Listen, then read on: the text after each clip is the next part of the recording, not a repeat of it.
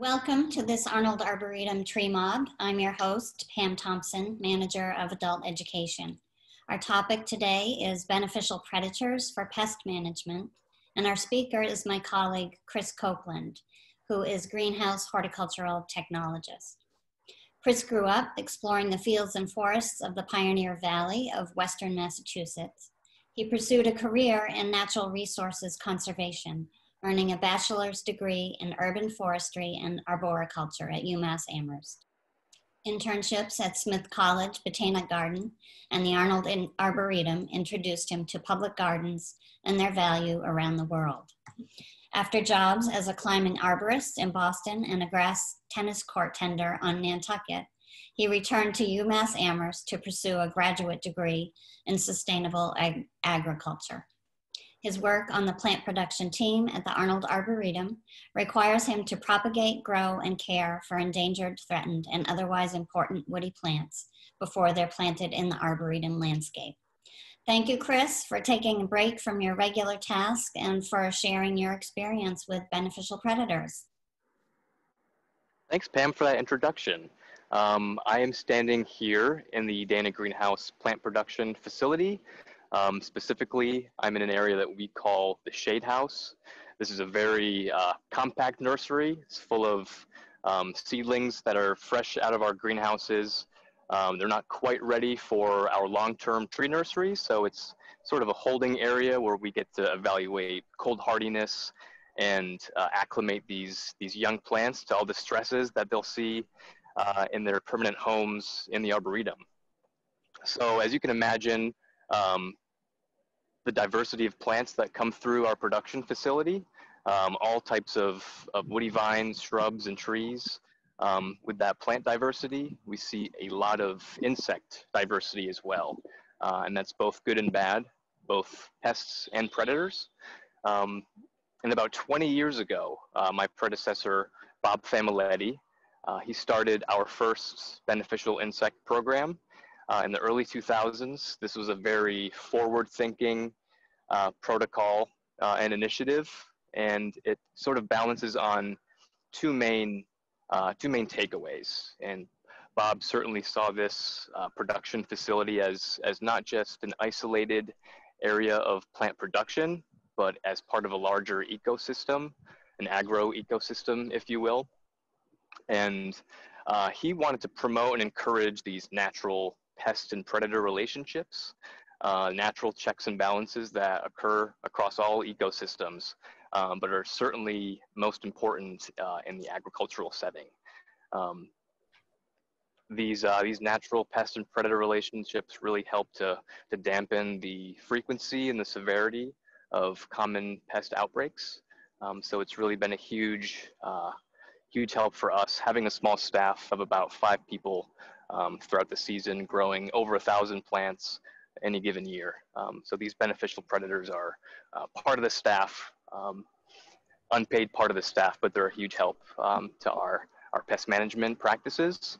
And uh, another huge takeaway from this beneficial insect program is uh, to wean ourselves off of depending on uh, strictly chemical control methods of, of our pest outbreaks. Um, sometimes with with chemical applications, you can create secondary pest outbreaks by eliminating these eliminating these predator insects, um, leaving the pests to really grow, um, sometimes out of control. Um, oftentimes, uh, as a worker, if you've ever applied pesticides, especially in the summer months, you know, wearing long pants, long sleeves, masks uh, can be a very uncomfortable procedure. Obviously, if you're using uh, harmful chemicals, um, there's a risk uh, to the employee. So trying to integrate a biological beneficial control program with your chemical uh, and other cultural practices is, uh, is, a, is a good way to go. And uh, it's a great way to save costs and save uh, labor as well. So I'd love to jump right into talking about some specific pests. we have many pests here um, at the Arboretum, of course, um, but I want to focus on two specific pests. And I'll start first with aphids. Uh, aphids are a very common insect pest. If you're a greenhouse grower, if you're an orchardist, uh, you are uh, quite familiar with these infamous uh, insects. Uh, aphids are um, these soft-bodied insects. And Pam, if you could throw on slide one, uh, I should have a picture of aphids that are feeding on one of our landscape plants. So aphids are these uh, wingless, uh, soft-bodied insects. Um, there we go. We have a picture of a, a lily with a tiny yellow uh, population of aphids. Um, these occur on, on many plants from cabbage to phlox to woody plants in the rose family. And we grow many crab apples. I have a crab apple to my left here, uh, many pyrus, pear species, cherries, of course, roses. Um, and our aphids also prey on other species outside of the rose family like viburnums as well. Um, so these are very persistent pests. They have these long piercing mouth parts that can puncture a plant cell and extract its contents and really cause um, some serious uh, deforming of foliage, uh, primarily a cosmetic um, uh, cosmetic impact to your plants. I'm actually going to try to show you a live colony of aphids if our uh, our Zoom is able to focus on this. This is a young um, cutting from a uh, small pear tree and these aphids are collecting on some very succulent growth. Uh, aphids are most likely going to be congregating in colonies on the very green um, stems, your terminal growth, um, such as on this crabapple.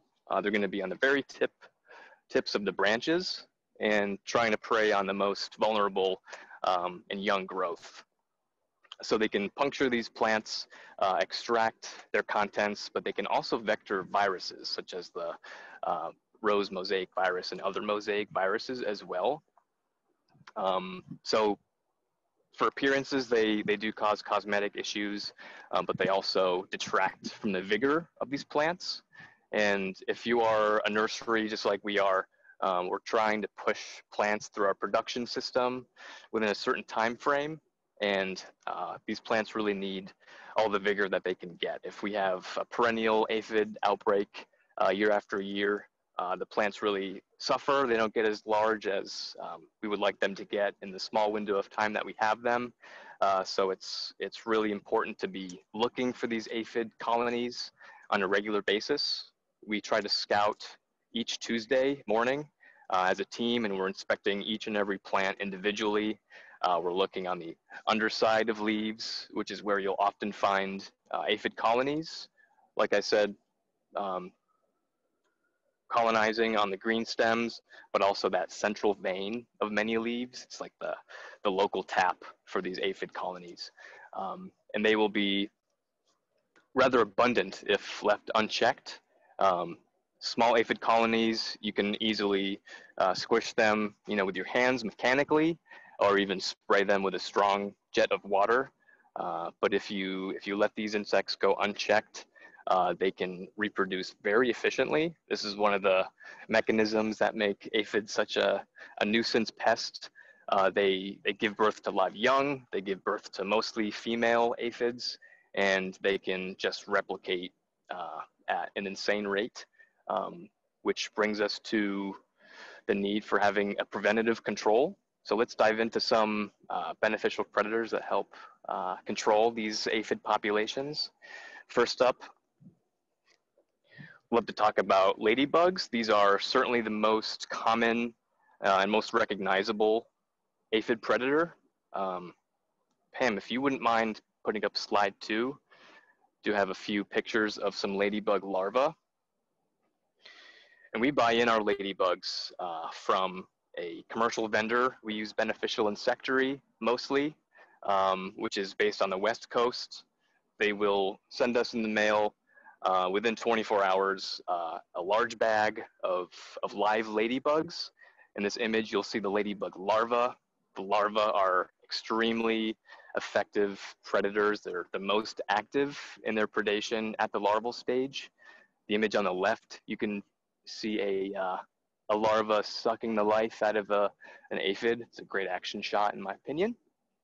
Uh, but on the right, you'll see that these larvae uh, appear like appear to be these like small alligator uh, appearances. They look almost nothing like an adult ladybug.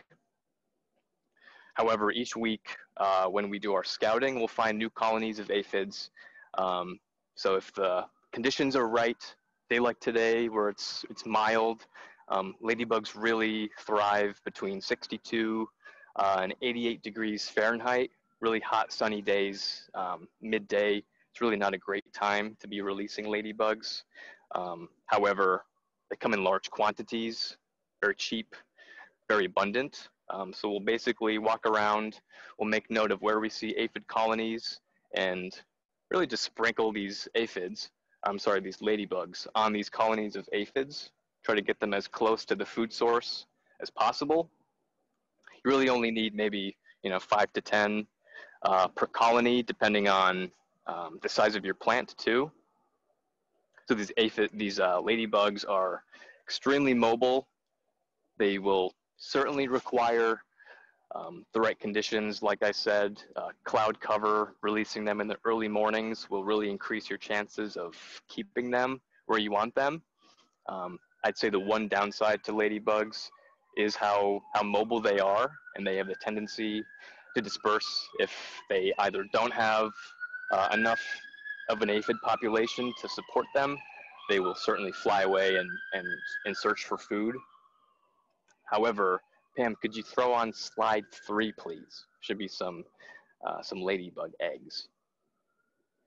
If you are uh, scouting routinely, which I encourage you all to do so in your landscapes and in your growing areas, um, you can be searching through these aphid colonies that you're aware of. And on the underside of leaves, where you do see uh, these aphids preying on your plants, you should see some orange egg masses, which are uh, most likely ladybug eggs. There are other beneficials that do lay uh, orange eggs. However, uh, if you see these, uh, these orange egg masses around the colonies of aphids, uh, that's a great sign that you are providing a hospitable environment for ladybugs and uh, you are having success regenerating them. We have, we do release a large amount of ladybugs per year. Um, and with that, we do tend to see uh, ladybugs naturally in our nurseries, um, in our surrounding vegetation, natural uh, landscape areas. Um, they'll find find places to hide and overwinter, whether that's under the mulch where the soil is cool and has moisture for them. Uh, they will often um, find find the right environments for them to be successful and come back year after year, um, or at least last throughout their season. Um, however, the, the one downside is, of course, their dispersal tendencies. Uh, so just be aware of that. And this will bring us to our second insect predator. Uh, Pam, if you could bring up slide four, please. Should be some green lacewings. So green lacewings are a great alternative um, either to ladybugs or also using in conjunction with ladybugs. Uh, the green lacewings are weak flyers, so they aren't as mobile as ladybugs and are more likely to, uh, to stay in your growing area. Green lacewings are uh, great generalist predators. They can prey on soft-bodied insect pests such as aphids, such as white flies, thrips, and, and other common insect pests. Um, like ladybugs, they are very aggressive as larvae. Each feeding up to 100 aphids at a time. Um, so they are very voracious hunters. There are a few pictures of ladybug or um, of green lacewings right there. To the right are the larvae, sort of an alligator appearance, similar to those ladybug larvae. And, and to the left is an adult green lacewing. They're about three quarters of an inch long. Uh, these very graceful insects. They have this net-like wing um, appearance but I'll be honest, they are inconspicuous. Um, I haven't had any luck finding the adult green lacewings, uh, and this is because they are nocturnal flyers. Um, they are weak flyers, but they will fly at night, um, so it's kind of hard to keep track of these uh, after you release them, and we'll talk about releasing in just a moment. Uh, but if you are a homeowner uh, these are naturally occurring insects and they're attracted to porch lights at night. So you may be able to see these green lacewings um, that are attracted to your outside lights. Maybe they're on the screens of your windows at home. So keep an eye out for these little guys. Um, and like I said, they are most voracious as larvae, but you can also purchase them from commercial vendors like Beneficial Insectary, Arbico Organics, uh, and they come as live larvae, and they also come as eggs. And we prefer releasing them as eggs in their egg stage. They're a little easier to, um, to manage. The larvae are so good at hunting that they're actually um, cannibalistic. So purchasing uh, green lacewing larvae, they come in this very uh, bulky cardboard frame. Each of the individual larvae are compartmentalized and separated from each other. Uh, it's a great teaching tool, but it sort of uh, slows down the uh, application process, especially if you're, you know, a commercial grower. Uh, it's very time consuming. However, we purchase their eggs. Uh, they come again within 24 hours uh, in the mail, and they will usually be uh, mixed in a, a, bottle like this with some kind of organic carrier. Uh, these are in buckwheat hulls. They can also come in rice hulls as well. And this is just to prevent them from being compacted in the mail and being um, damaged in any way. Uh, so when you receive, if you receive green lacewing eggs, uh, they are um, kind of easy to, to work with. They actually change color when they are ready to, um, yes, I can show the label, of course. Hopefully you can see this. These are green lacewings, uh, a thousand count. They are eggs that are soon to hatch into larvae. Again, they come in these buckwheat hull carrier, sometimes rice hulls. Um, often acts as a food, temporary food source for when you are ready to release. And Again, they change colors when they're ready to hatch. So they come as green eggs. They'll slowly turn a dull gray color. And it's, it's often prudent to just let a few of these eggs hatch. Um, that way you're, you know that they're um, ready to feed uh, right after you release them. And similar to releasing ladybugs, you want to do a topical application right at the sites of your aphid colonies. You don't have to go crazy, almost like you're seasoning food. Um, release a little bit at a time. And you also want to just give the bottle a rotation. That way your, your beneficials are evenly distributed and you're still releasing beneficials at the end of your uh, release. You don't want to be just releasing the organic carrier. Of course, that's, that's no help um, to your aphid populations. So those are green lacewings. Um, again, they are commercially available as well, but they're also natural naturally occurring. Um, this brings us to our, our final aphid predator. Um, Pam, would you mind throwing on slide five? It should be a hoverfly larva. And I'd love to talk about hoverflies. Uh, these are, are not commercially available as far as I know, um, but I have read so much about them uh, through Cornell Extension, through UConn Extension, UMass Amherst has some great information on their websites about hoverflies. Um, I've heard about them in podcasts as well. Uh, and these, uh, you're looking at a picture of a hoverfly larva. That's a striking uh, larva. You can see some, um, some yellow and black striping.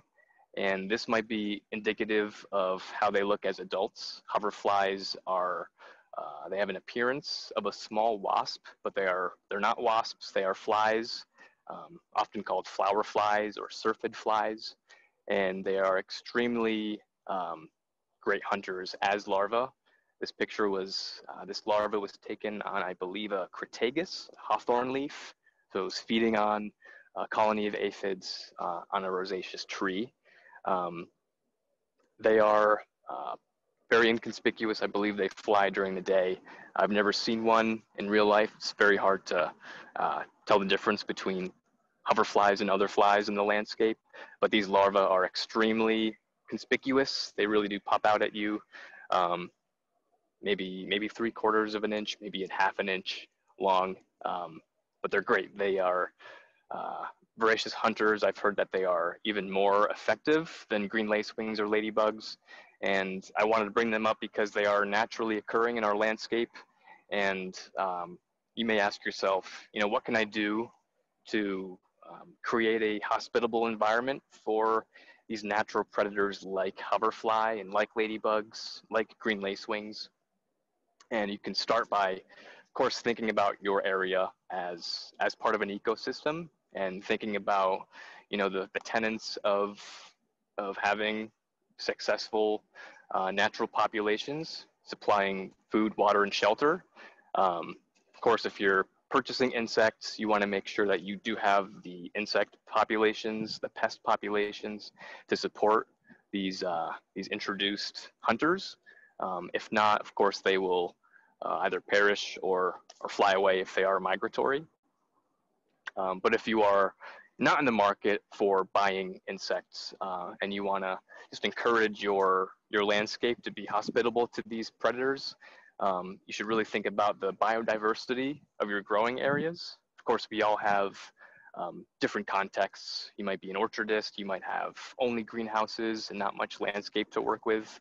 Um, but I'll tell you a few things that we try to do uh, to promote healthy landscapes. Um, so of course, we're part of the Arboretum. We have the luxury of having many uh, diverse landscapes uh, adjacent to our growing area. But on site, we do a few things. Um, we do plant cover crops, and these cover crops are, of course, primarily for soil health in our nurseries.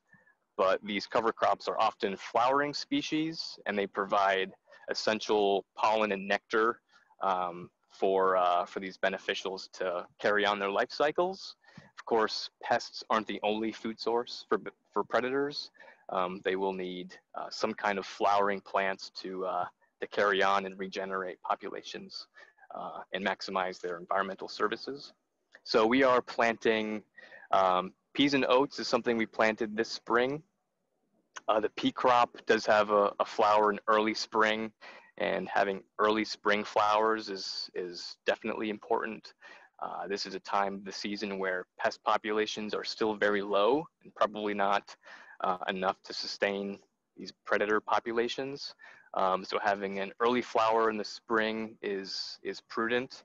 Um, we are also currently planting a crop of buckwheat. Uh, the buckwheat adds some great biomass to our inorganic matter to our nursery soils. Um, but at the end of the summer, closer to the end of August, we'll have um, some flowers just to provide as a food source for predators like ladybugs and, and green lacewings. Uh, it's a tricky balance having um, flowering plants in a an agricultural context. Um, so just you know find the balance that's right for you. If you are um, you know a, a, grower with a larger landscape, maybe you're an orchardist. Um, I would also suggest a technique such as creating no-mow areas and trying to uh, preserve these naturally occurring perennials, flowering perennials, like Queen Anne's lace, yarrow, uh, dandelions. These are all great food sources for these natural predators. Um, so just something else to think about uh, when you're when you're trying to curate these uh, these agro ecosystem spaces. Uh, I want to move on to our uh, last topic, which is of course mite pests. Um, so aphids and mites are two two of our most commonly occurring pests here at the uh, at the Dana greenhouses. And mites are a little different. They're actually not, um, they're not insects. They are closer related to um, ticks and spiders. They're actually in the arachnids. They are um, very prolific, just like aphids. They, they can uh, really increase populations during hot, dry weather. We've had such a hot, dry summer here in the Boston area, and it's been very uh, conducive for pest populations such as spider mites. Um, you may have heard of these, uh, these important, rather infamous mite pests such as the two-spotted spider mite, uh, the spruce spider mite, European red mites, and broad mites as well. Uh, these many species of mites also have many hosts, uh, many plant hosts. So we have, uh, you know, a wide variety of woody ornamentals that can uh, that can fall prey to mite outbreaks from arborvitaes to chamaecyparis to redbuds. Uh, it's really, um, really hard to track down a pattern for, uh, for what these mites are going to attack. So as part of our scouting routine, we do try to document each week uh, what species we're seeing mites on um, so that we can anticipate their occurrence uh, later in the season or for future seasons as well. So I want to show you um, what kind of damage that, that mites can do. So mites have, mites have eight legs, just like um, ticks and spiders, but they also have uh, chelicera. These are these, these pincing mouth parts. Uh, they have the ability to uh, puncture surfaces of leaves and cause um, these white speckling. So I'm going to try to show you this rose. Uh, this rose had a pretty bad outbreak of mites earlier this season. Sorry if that's hard to tell. Um, but if you're scouting for mites, you want to first notice the surface of the leaf. Uh, mites can cause many, many white dots, speckling, flecking. Uh, it's like a very, very unique to um, to mite outbreaks. Eventually, if populations get bad enough, the foliage will turn yellow, um, start to be chlorotic, and eventually fall off. Um, however, if you're scouting, uh, these mites are very small, very hard to see to the naked eye. So you want to look for those foliar symptoms, but you also want to look for um, webbing, hence spruce spider mites. They can often uh, create very fine webs within the foliage um, again, they're going to most likely occur on your um, most actively growing stems, the ends of your, your branch tips, uh, that vulnerable foliage that's easy for an insect to penetrate. So look for that webbing. Um, the mites are going to be stationary. If they're feeding on plants, they're going to be stationary. Um, I've seen them most commonly on that, that midrib, that central main vein of a leaf. Uh, and this is where they will lay eggs, they will create their webs. Mites are very messy, um, messy things. So many signs for you to be looking for during your scouting efforts. And you may be asking, how do I tell the difference between a pest mite and their natural controls, which are actually mites as well, these predator mites. Um, and the one uh, clarifying trait of, of a beneficial mite compared to a, a pest mite is their speed. So pest mites are stationary, they're feeding on a leaf, they're gonna be along that midrib, uh, but predatory mites, these beneficial mites are hunting. They're hunting for these pest mites, and you'll often see them sprinting across the surface of a leaf. Um, so when you're scouting, you, uh, you really need the hand lens to see what these mites are doing. And if you're seeing fast moving mites, then uh, there's a good chance you have a natural population of beneficial mites. And most beneficial mites, if not all beneficial mites, uh, they're in one family of mites, the Phytoseiid family. May have butchered that name, uh, but I'm going to throw some more Latin your way. Um, we use three several species within the Phytoseiid family of mites. Uh, we use a, kind of a cocktail of these three mites at any given time during the season each have their own uh, specialty, their own role, and different optimal conditions for their success. Uh, so first up is uh, a mite called Amblyseius cucumeris. This is a very common mite, um, somewhat affordable. They are more of a cool season mite, uh, thriving between 66 degrees Fahrenheit and 80 degrees Fahrenheit. Um, it's a mite that we use in our greenhouses for most of the year, as long as the, the low temperatures in your greenhouse are right around the mid 60s. They're great generalist um, predators. They'll, they'll feed on pest mites, but they're also very successful at hunting thrips, which is of course a very common, uh, common pest for greenhouse growers, those thrips. Um, and if your thrips populations are low enough, uh, Cucumeris is a great alternative to keep those um, populations low and even to protect those plants as a preventative measure. Our second beneficial mite um, is, is a close relative. Name is Amblyseius, I'm sorry, Amblyseius fallacis. Um, these mites feed primarily on, on pest mites, not so much on thrips like Cucumeris does, um, but fallacis is uh, more of a more of a summer mite thrives in the months of July and August. Um, they will um, be very successful in reproducing during these hot and dry months.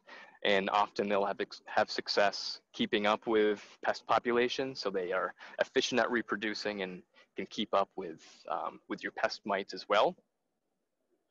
And the third beneficial mite, again, is another relative uh, by the name of Amblyseius californicus. Um, these, these beneficial mites I've noticed are slightly harder to come across in terms of availability. Um, however, most of the time um, they have the same availability as, as Cucumeris and Fallacis. The Californicus is a great late season mite. Um, they can thrive up to over 100 degrees Fahrenheit. Uh, of course, that's the upper end of their, their hospitable range. Um, so I really wouldn't recommend anybody releasing beneficials at that heat, uh, at that amount of heat, um, whether that's in your greenhouse or, or outside. Those are really stressful conditions, um, but Californicus can, can cover your pest mite populations at that uh, intense heat. Um, and if you're purchasing beneficials, you, you have one of two options, or you can use both options as well, like we do. Uh, you have a slow release method and you have a fast release method. So beneficial mites will also come in a in a bottle. This is my green lacewing bottle, but it's it's pretty much what you're going to get for mites. Um, they come in larger bottles too. Uh, these mites will come in again in organic carrier, mostly bran or vermiculite.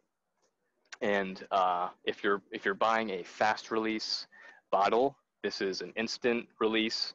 You want to be releasing uh, preventatively, but all around the canopy um, of your plants.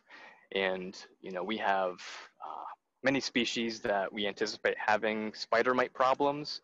Um, so this is a, a great uh, fast release. If you have populations that are starting to get out of hand, um, have, a, have a fast release bottle and it should give you um, somewhat good coverage as long as your pest populations are at a, at a manageable level. If, if they're exploding, um, it may be too late to try to use beneficials. Um, then you might have to, you know, consider a chemical option. Um, but the slow release uh, mite application is a favorite of ours. They come in these sachets. I'll try to hold one up to the camera. So these are beneficial sachets. They are, they have a, a resident mite population you can get sachets for Cucumeris, Fallacis, and Californicus, uh, probably other mite species as well, uh, but those are the three that we use here.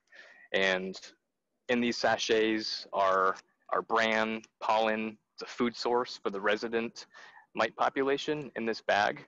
And over a period of four to six weeks, these mites will give birth to a new generation, and those young mites will uh, start to explore your plants and feed on um, they'll persist on pollen if you have low mite populations or no mites at all, um, but they will serve as a preventative protection.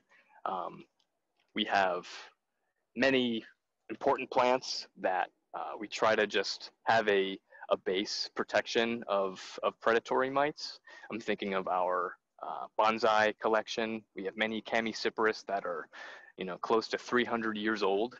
Uh, and we know that they have common mite problems season after season, especially this time of the year. Uh, so we're always hanging these sachets um, throughout the canopy. You do want them to be, you know, somewhat protected. You want them to be in the canopy, not necessarily exposed to, you know, to the extreme sun uh, and those harsh conditions. Um, but for large plants, you can hang, you know, two to three.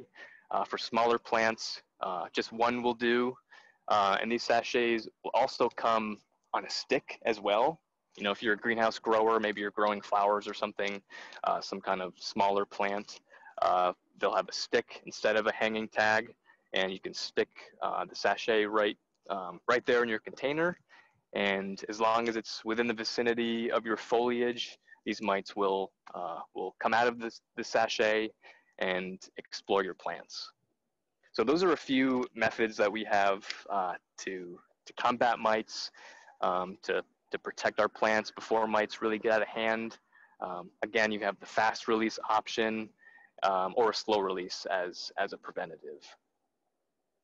Uh, so Pam, that's wraps up my presentation and I would love to throw it back to you and field some questions.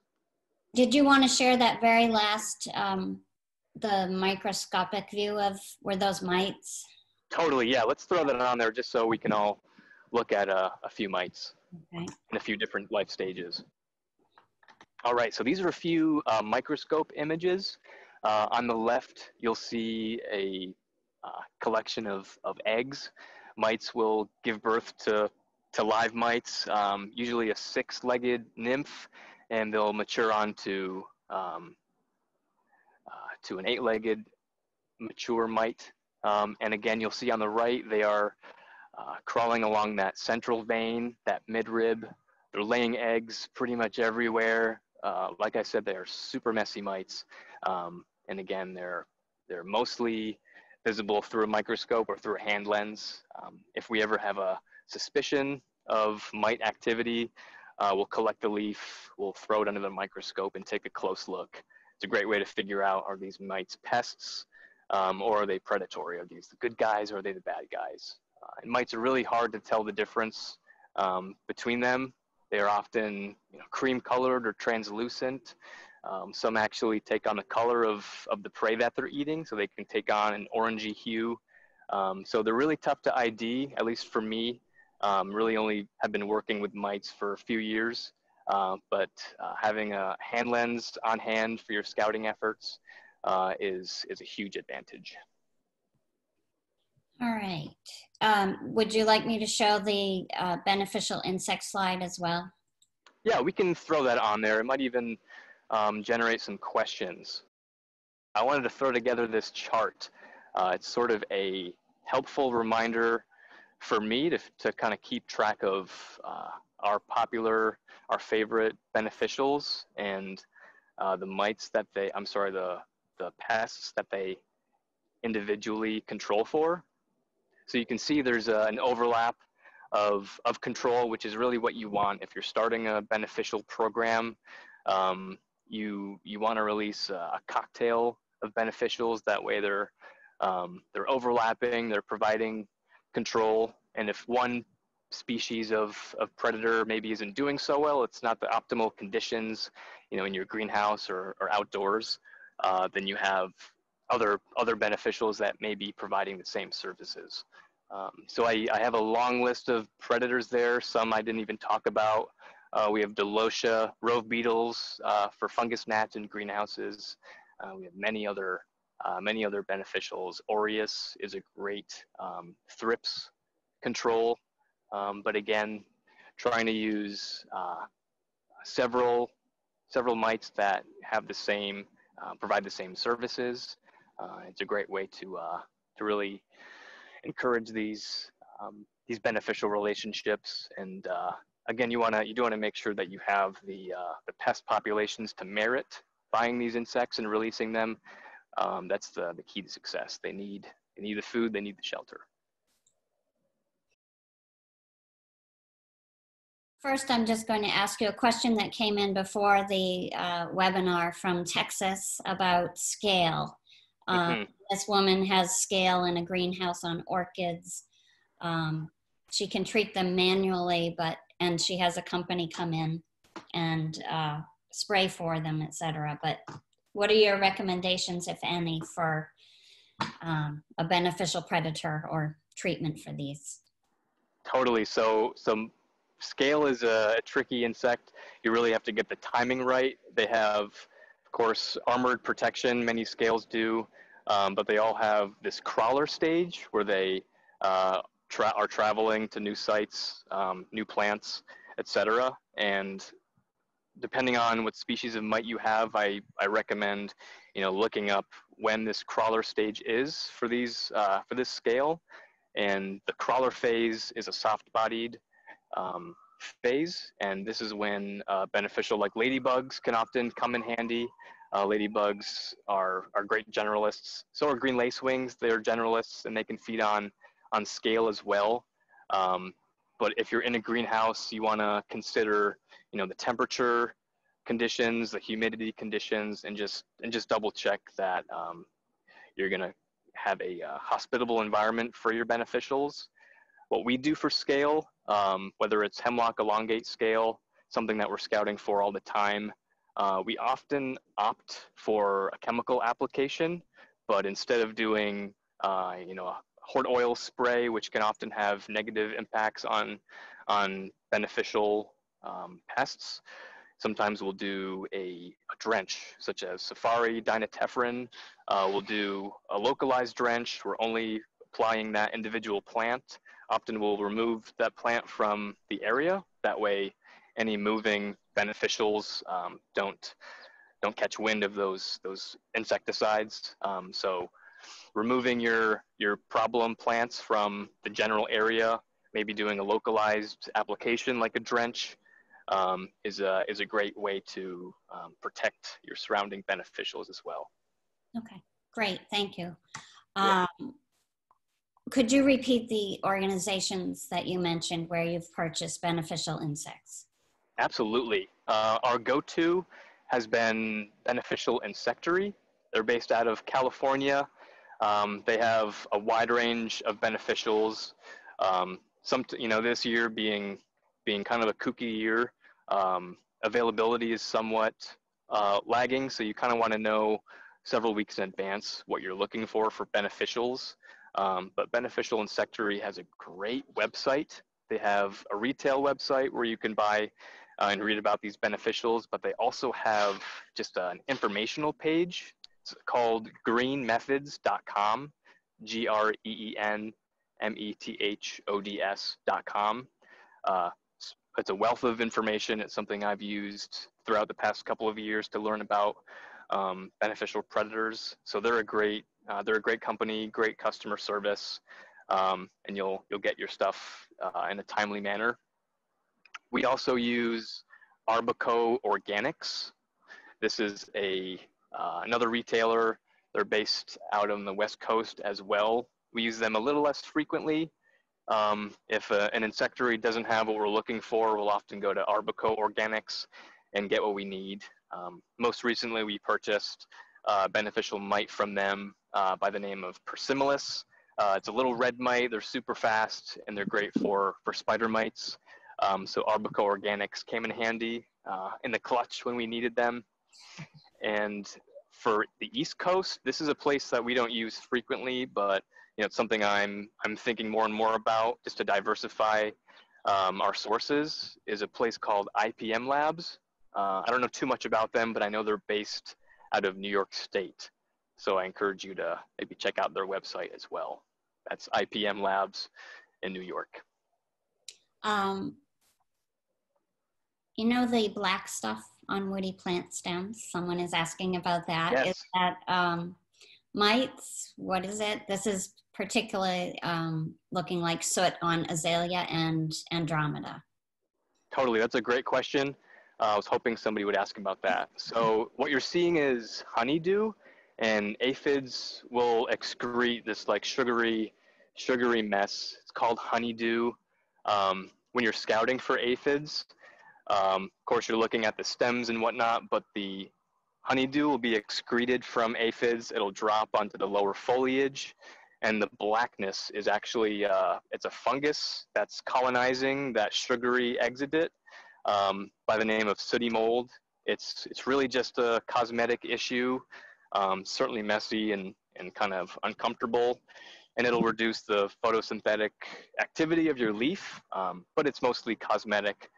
Um, and another point on honeydew, um, when you're scouting for aphids, you'll often see ants crawling around these plants, and ants will essentially try to farm colonies of aphids, and the ants will consume that honeydew, um, maybe before it turns to sooty mold, um, but they'll consume that honeydew as a food source for the ants, black ants, and in return they provide protection for those aphids from other natural predators. So um, I'm not recommending you go and smash every ant that you see, but uh, it's a great indication that you, you might have a, a building aphid population. Uh, you haven't mentioned praying mantids at all. Mm. What's what's the deal with those? Um, so we we really don't use praying mantis, but I know that they are extremely aggressive. They're generalist. Um, generalist predators. Um, I don't know much about their hospitable conditions, but I've seen them naturally occurring. Seen them over at Weld Hill, um, the research facility of the Arnold, and their common garden. It's probably something you'll see in other community gardens as well. But they are they are great generalist predators, good for aphids, good for thrips, um, maybe even uh, soft-bodied scales as well. I think you mentioned this, but um, the dry, hot summer is increasing the aphid population this year, correct? Um, it could be. It depends. Hot and dry weather uh, is primarily great for mite populations. Um, I don't know if aphids respond well to to the dryness. Um, aphids are attracted to the young, vigorous growth. So I would even suggest uh, in a wet year where your plants are putting on a lot of new growth, especially throughout the season, you would see more aphids on uh, maybe a season with higher rainfall.